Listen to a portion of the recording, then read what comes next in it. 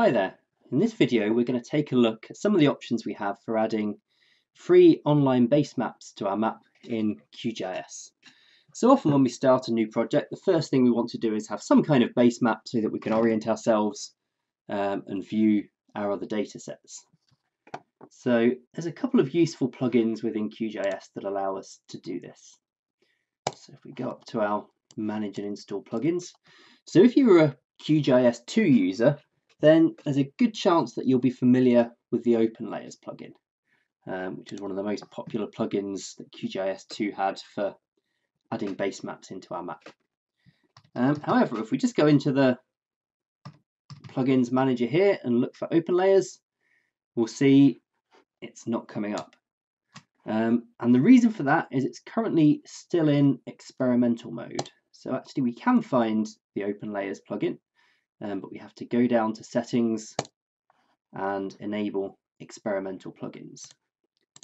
So if we come back now, um, we'll see that the Open Layers plugin is available. However, as I'll show you in a second, there's still quite a few issues with it at the moment. It very much is experimental within QGIS 3. Um, so we're also going to look at an alternative, which is the Quick Map Services plugin.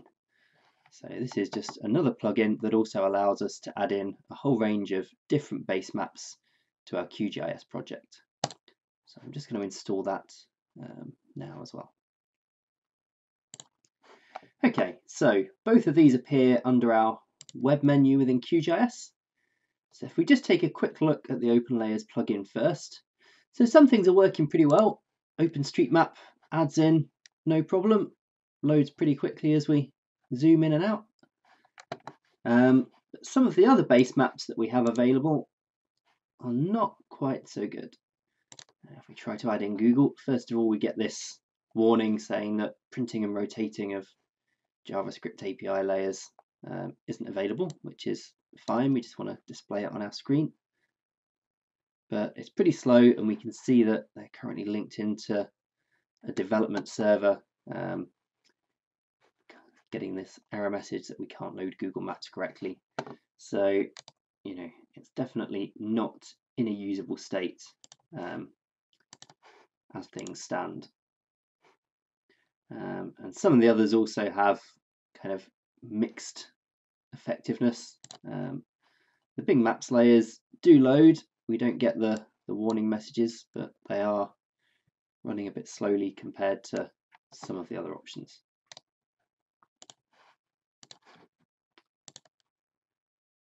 And, you know, we have a, a reasonable range of maps here, but like I said, mixed results at the moment. Um, whereas Quick Map Services, on the other hand, has a huge array of maps to, to choose from. Now, one thing I have done, when you first install Quick Map Services um, for the first time, it won't have quite as many options as this. So if you want to expand the range of base maps that you have available, you'll need to go into the settings menu and click to get the contributed pack. So it should only take a few seconds when you click that um, and that will make sure that you have the full range of maps that Quick Map Services can offer. Now it still has some of the issues of the Open Layers plugin um, but seems to be working better with most of the map services we have available. So the Google Base Map is running fine. Um, come back in, we've got Esri base maps here as well. So um, they all seem to be be working okay. Uh, obviously, I'm not going to go through all of these at the moment, um, but not everything seems to be working. So if I try and load a Strava heat map, for example, um, then they don't seem to be working correctly at the moment. And the same goes for some of the other services available. So you have to kind of experiment and, and see what, what works for you. Um, but we do also have one other option for adding in uh, base maps within QGIS, and that's the XYZ tile layers um, that we can now add in. So by default, when you first install QGIS, it actually comes with OpenStreetMap set up as an XYZ tile layer. Um, and essentially what XYZ tile layers are, are a way to connect to services like Google Maps.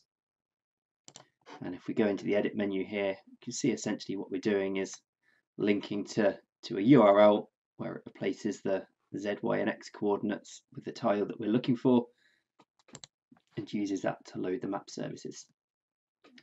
So you might not want to use OpenStreetMap. However, um, the Quick Map Services website, um, same people as the Quick Map Services plugin we're just looking at, have um, this useful page, um, which lists all of the tile map services um, that people have contributed to, to their website. And here we have literally hundreds, 66 pages worth of different map services to choose from. Now again, not all of these are working, um, but they do have this useful traffic light system. So anything that's got a green dot next to it, if we go into this quick railway, um, sorry, open railway map, then we can see that that is currently working. It's loading up the map of the, the railway network. Um, interestingly, the Strava heat map, which wasn't working on the Quick Map Services plugin, um, does appear to be working using the, the version they have on their website. So if we want to use one of these, the main thing we need to do is copy this URL under the TMS info. Right click on the XYZ tiles, new connection. So give it a name, paste the URL, make sure you don't have any dangling spaces at the end, um, and then click OK. And we can now drag that onto our map, and we can see that we now have the, the Strava heat map layer loading up on this map. Um, so there you go, three options for adding in base map layers um, to our QGIS project. So probably the simplest of those at the moment is using the Quick Map Services plugin, currently a lot more effective than the Open Layers plugin. But also if there's layers that you know you're going to be using regularly, um, then adding them using the XYZ tiles option can be an effective way of having those conveniently to hand um, when you want them.